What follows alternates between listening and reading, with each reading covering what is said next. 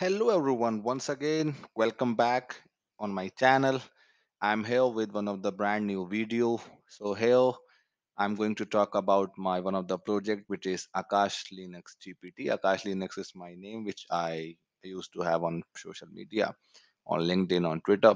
So here I have made one private chat GPT that exactly works like how GPT work, but uh, I met a lot of people who were little bit worried about the fact that you know they don't want their data to get resided over a server of you know OpenAI or ChatGPT. So they were asking a lot of questions that can we have our own server, our own database where we can put our file and you know our chatbot could able to interact with our docs.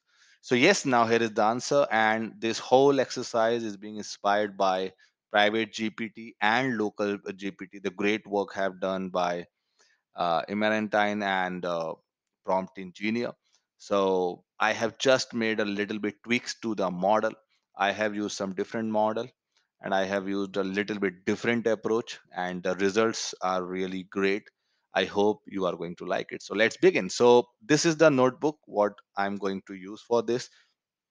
Description is just uh, in the video description out there. You can find uh, the link of this code and there is a, a github repository what i have made what you need to clone first which is akash linux gpt and these are the files you will be getting in there that's up to you that you are uh, going to clone it into your uh, G drive or just in the runtime. That's up to you. So if you can see, we have source document. So here I have used one of the document which is related with our text system, appeal text.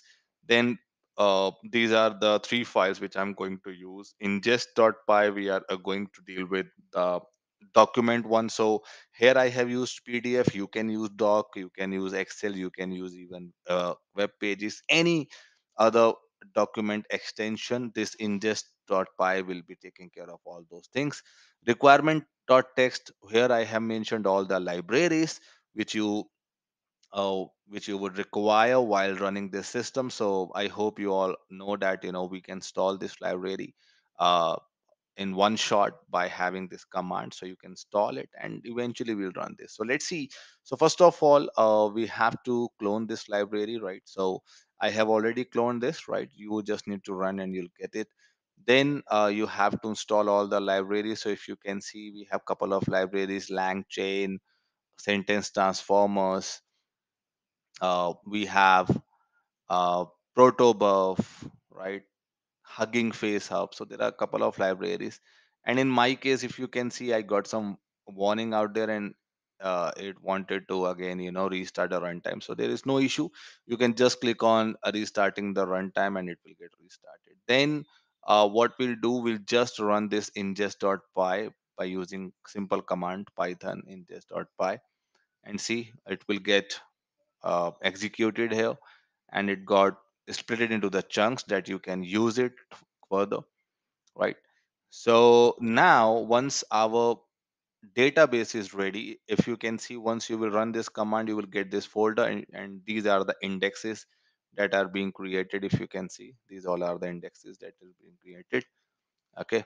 So that's how you will have the indexes for your uh, GPT model which you are going to use and based upon this indexes em- embeddings it's going to retrieve the data across right? So now as we have uh, made the chunks of the file and indexes out there. Now let's run this file and once you'll run this uh, it will ask you to enter the query. So like I have text file I have asked my model what is text. so see uh, it already given me the answer. Income tax is a tax lived on income.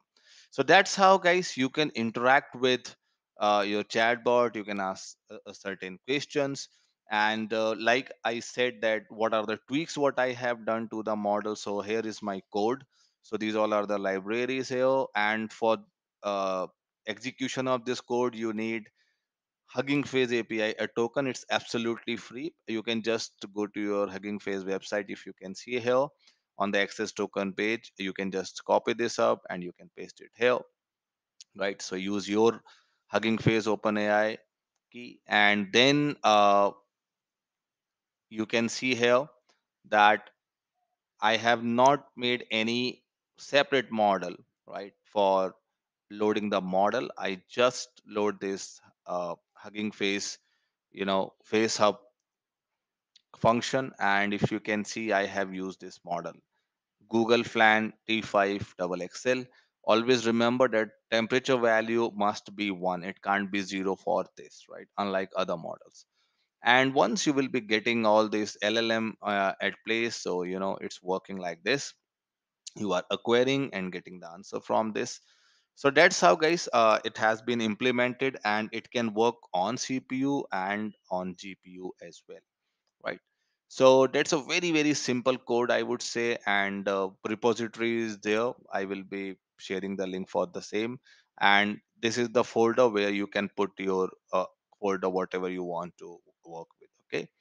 So yeah so that's how uh, we have made our own gpt and you can even build your own gpt as well. Thank you so much. Stay tuned and put your questions in the comment. I'll try to answer. Thank you